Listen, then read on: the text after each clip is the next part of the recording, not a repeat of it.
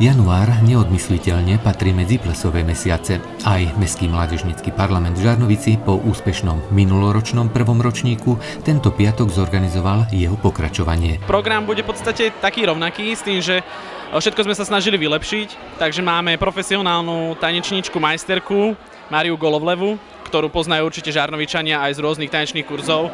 To aj tak pripomínam trošku, že môžu využívať jej služby e, latinského tanca.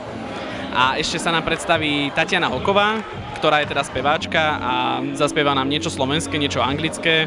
A máme pripravené rôzne aktivity zase, aby sme sa trošku, aby sme sa nenudili, aby sme trošku si aj niečo vyskúšali a potom samozrejme tancujeme, až, až kým vydržíme. Tento rok mládežníci vsadili na vlastnú moderátorku Mirku Forgáčovú, ktorá sprevádzala celým večerom. Novotou bola aj fotografka k dispozícii prítomným počas celého plesu a nechýbalo ani vyhlasovanie kráľa a kráľovnej plesu a samozrejme tombola. Ako sa dnes večer zabávate? Veľmi dobre, ďakujem. Je to váš prvý ples, alebo už ste tu viackrát? Tento rok sme prvýkrát tu. Zábava úplne perfektná.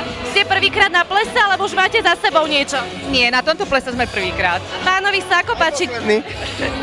Prečo? No je bude len Jecka, jeden len. Minulý rok sme boli. A vy sa ako bavíte dnes večer? Krásne, minulý rok sme boli, takže v pohode. Plesová sezóna je v plnom prúde. Je toto váš prvý tohtoročný ples, alebo už máte niečo za sebou? Prvý, tu v Žarnovici prvý. A máte už nejaký za sebou ešte? No, máme.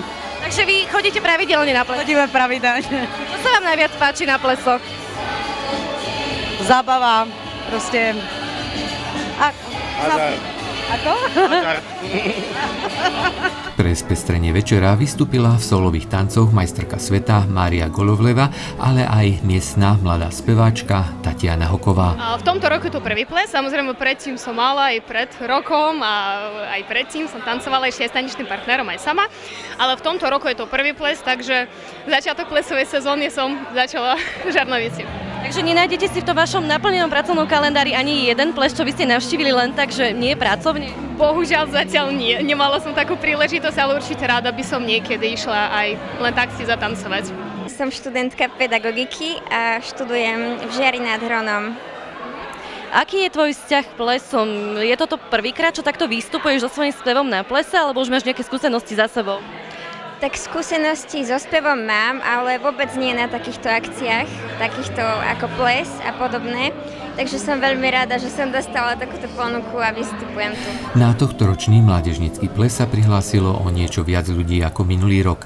V piatok sa až do skorého rána v jedálni Stredného odbornej školy zabávalo 68 hostí. Aj keď je len začiatok roka, mládežníci už teraz rozmýšľajú nad tohtoročnými akciami. Uvidíme, ako budú fungovať premietania filmov. Máme tam trošku problém, ale snažíme sa ho vyriešiť a uvidíme, ako to bude, ale minimálne to premietanie a potom nejaké tie podujatia typu volejbalový turnaj alebo niečo nové. Musíme porozmýšľať a hlavne sa správne rozhodnúť.